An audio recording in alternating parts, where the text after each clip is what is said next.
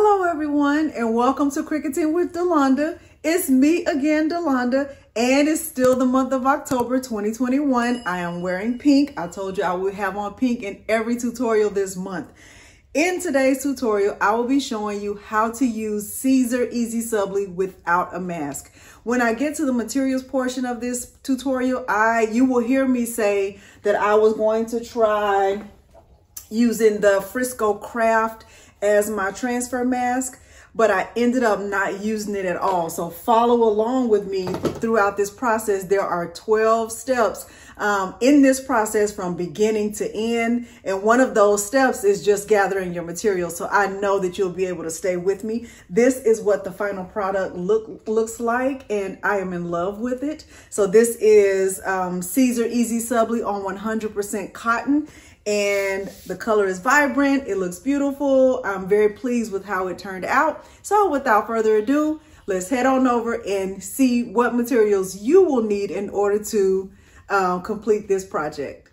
The materials you will need for this project or the materials that I use for this project, I was connected to my Cricut Explore Air 2. I am going to be using a white cotton it's a heavy cotton Gildan shirt. It's medium white shirt that I purchased from Walmart. I'll be using Siser Easy Subli HTV. I purchased a five pack um, from Amazon and I realized that there's a cheaper um, link and I'll make sure to share that down in the description below. Um, I will be using a green standard grip mat and a Teflon sheet. I don't know if I said that already. I'll also be using, um, I don't have the Easy Subli mask. I am going to try this Frisco Craft transfer tape for uh, HTV. And, you know, if it works, great. We will learn something new together. If it doesn't, great. We will learn something new together. I have my heat settings on my StarCraft set to 311 degrees. This is the design that I will be using. I purchased this in a bundle from Design Bundles. Okay.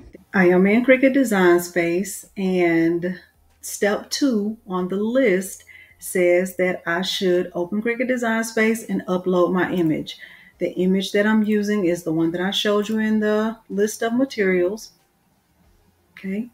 Right now, my canvas is set to 50%, and you can keep yours, you know, wherever you feel comfortable. Um, the next step says to unlock it and resize your image to no bigger than 9.25. So I'm going to unlock it and I'm going to go from 9.25 to 6.75. And the reason why we're doing that is because that is the biggest Cricut Design Space will allow you to do a print then cut image. Once you've resized it to this size, if this is the size you're going for, go ahead and click make it. Okay. Um, then the next thing you'll do is follow the steps to get yours printed out using your sublimation printer settings. So I am going to click send mine to the printer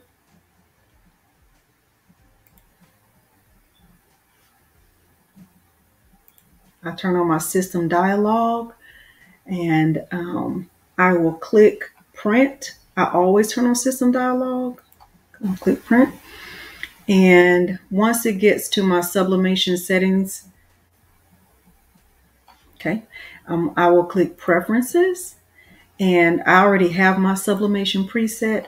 I will go to more options and turn the mirror image off. So I'm going to uncheck mirror image because when you're using Siser Easy Subli, you do not mirror your image. So then I'll click OK and then I will allow my design to get printed out.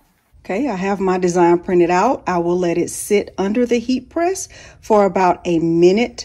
Um, I don't, I'm not going to let the heat press down, but I am going to let it just hover to make sure that the ink is dry on the design.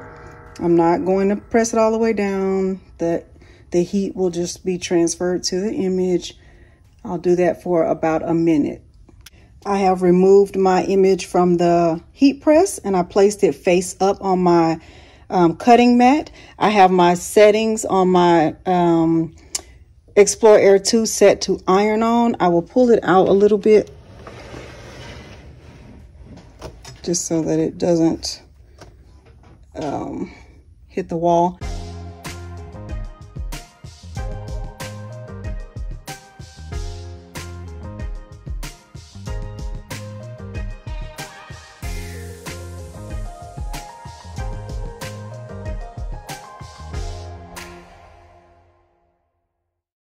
I have my design cut out. Now I am going to weed it out. Um, I'm nervous. I am very nervous. I have not had good success with the Easy Subli, and I don't even want to tell you how many sheets I've wasted. So far, so good.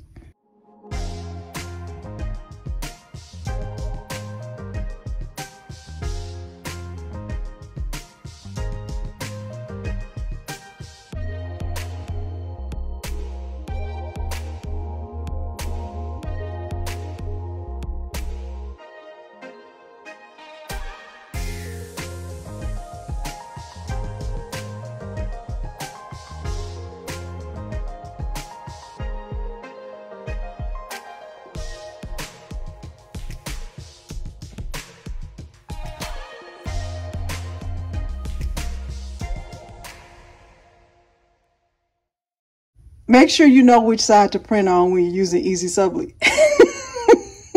That's what that is. I printed on the wrong side. I dried it on my heat press and then I printed on the right side. I don't like to waste material. So that all that black stuff you see in the background, that's dry ink.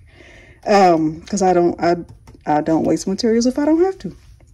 So what I'm thinking about doing is I am going to go wash my hands because now they're dirty.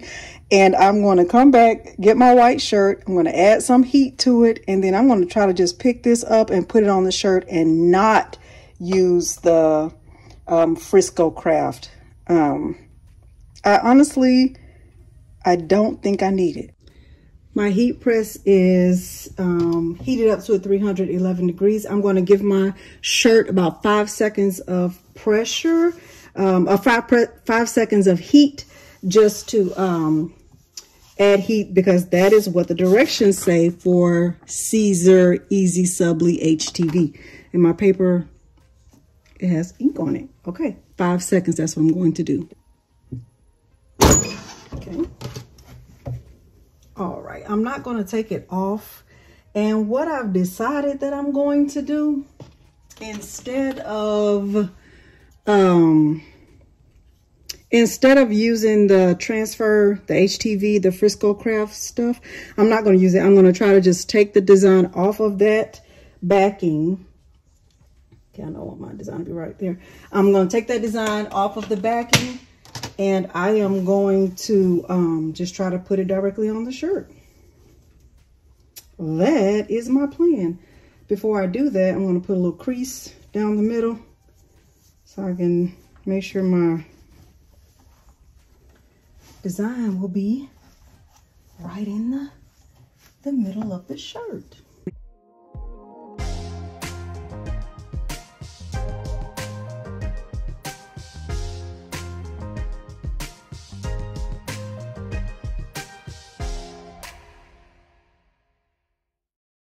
So I put a little crease down the middle I know that I want to come down about three inches.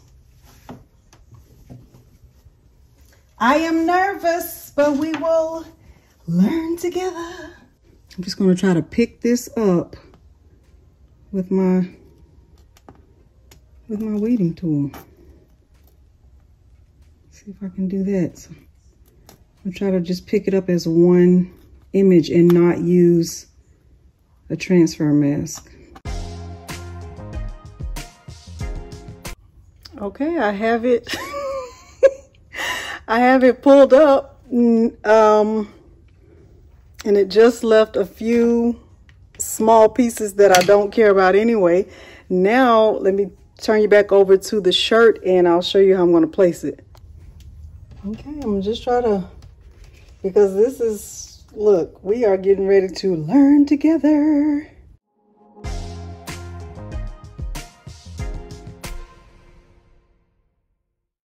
Okay, what I have decided, what I've decided to do is use this piece of backing from the ribbons that I used the other night, the heart, uh, the HTV on canvas. Canvas. I'm going to put this on top of here just to protect the HTV, and then I'll put my Teflon sheet on top of that.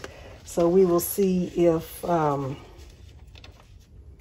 we'll see how that we'll see how that works out. So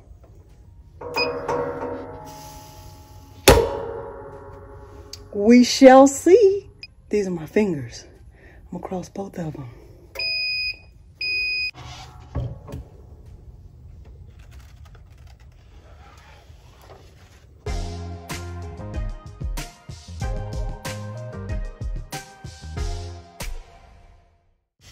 But it worked, honey. But it worked, honey. Now I can't, I don't know what I've done with the lights, but it worked. That's what you need to know.